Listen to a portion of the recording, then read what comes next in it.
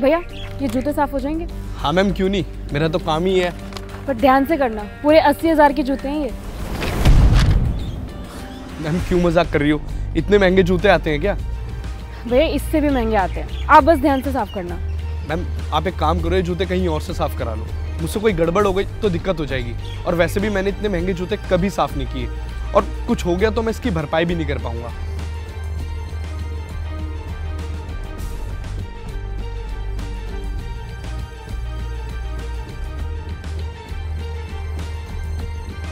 दस हज़ार रूपए। मैम जूते साफ़ करने के इतने पैसे कौन लेता है? भैया इतने महँगे जूतों के इतने पैसे ही लगते हैं। आप दस हज़ार में कर दो ना। ठीक है मैडम। अच्छा थोड़ा जल्दी करना ठीक है? जी मैम।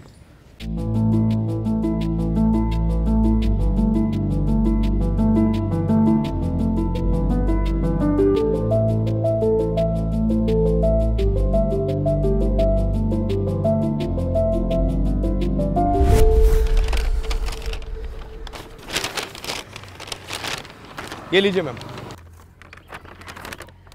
अरे वाह भैया आपने तो इन्हें बिल्कुल नया कर दिया। शुक्रिया मैम। ये लीजिए आपके पैसे पूरे दस हज़ार रुपये नहीं नहीं मैम मुझे इतने पैसे मत दो। मेरी मेहनत के दो सौ रुपये बनते हैं आप बस वो दे दो। दो सौ रुपये क्यों? मैंने जब आपको दस हज़ार रुपये बोले थे तब आपने मना क्यों नहीं किया?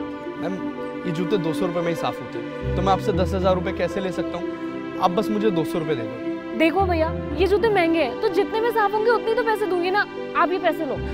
पर मैम पकड़ो।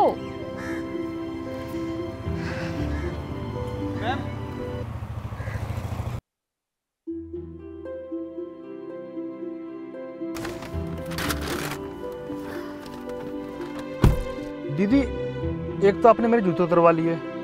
ऊपर से आपने चार हज़ार के जूते का अस्सी हज़ार बता दिया उस मोची को। आपने ऐसा क्यों किया?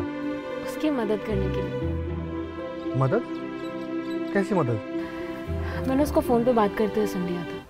मैंने बहुत लोगों से पैसे मांगे लेकिन सबने पैसे देने से मना कर दिया।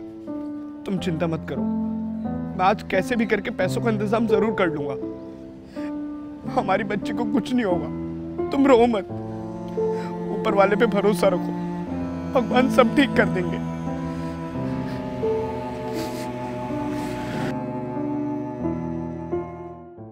ये तो बहुत अच्छा किया आपने। पर आप उससे डायरेक्ट पैसे भी तो दे सकती थी। ये सब करने की क्या ज़रूरत थी? ताकि उसको ये लगे कि ये पैसे उसने मेहनत से कमाए ना कि उस पर किसी ने एहसान किया है। और इससे वो अपनी बेटी के पास गर्व से भी जा सकेगा। ये तो बड़ी अच्छी बात है। अच्छा मेरे जूते तो दे दो।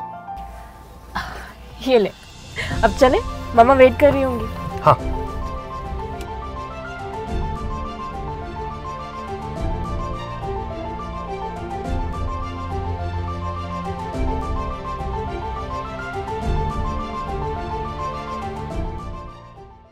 ज़ोर से बोलो हैप्पी